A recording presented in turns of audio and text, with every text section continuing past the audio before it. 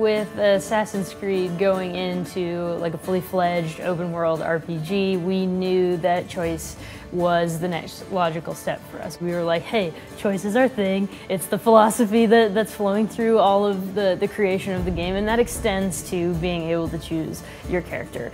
It extends to naval and how you're going to customize your ship, how you're going to play with your ship, who you're going to recruit for your ship. And then you can make a choice about the way you're going to approach quests. It had to be everywhere or nowhere at all in terms of how we were looking at making things. So yes, the narrative will lead to uh, different uh, conclusions, but you, if you go off the beaten path, you will be surprised and you will have to make choices, sometimes dire, sometimes not. So uh, yes, we want to give that autonomy to the player. You can choose if you're going to help the Athenians dominate the Greek world or the Spartans, and you can change your choice in that playthrough as well. We wanted to approach the combat in a way that gave the player more options, more customization, more ability to have choice in the way that they approach uh, every combat situation.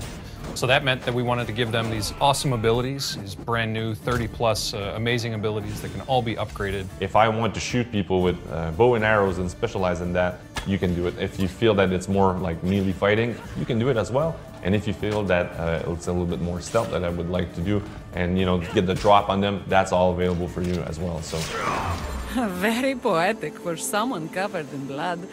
I like it.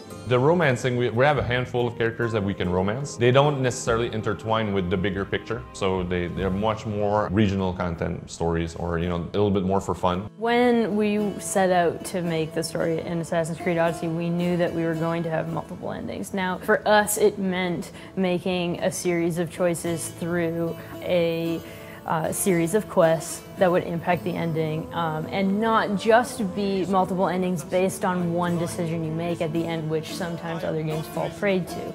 Just because you're making choices doesn't mean that you're going to be cut off from half the game for making these choices. You're simply going to have your own unique experience. Something that I, I, really like about our game is the variation of tones. I never thought Poseidon's anger would be too much for the mighty Kassandra's stomach. you know, you can be a little bit more of a traditional compassionate hero, but you can also call people on their bullshit in the game. Somebody's coming to you with a much more down-to-earth, easy, you know, quest like a uh, somebody stole my vase or something. So your character can say, dude, who do I look like? Like somebody's gonna get, you know, vases, you know, like I'm destroying armies, you know. Well, when the player feels that he can say that, we try to put that in the word of the character as a choice as well. So, dude, the fuck I look like, you know, like, so, so that you can get that a little bit more in the game. You can't do it every time, but, you know, like, how do I feel about saying something here? We tried to, to mimic that and then have the characters react. Kassandra, what do you think we should do? Player choice is a motivator. It connects you with what you're doing. The game is talking to me and I need to uh, respond to that. So the player choices are felt in dialogues, but they're also felt in the world. So in uh, the play style that I'm going to uh, choose in the game, uh, the mix and matching of the abilities, who I want to interact with, Sparta, Athens, you know, what do I want to do as a player? You decide and it's your choice to do it.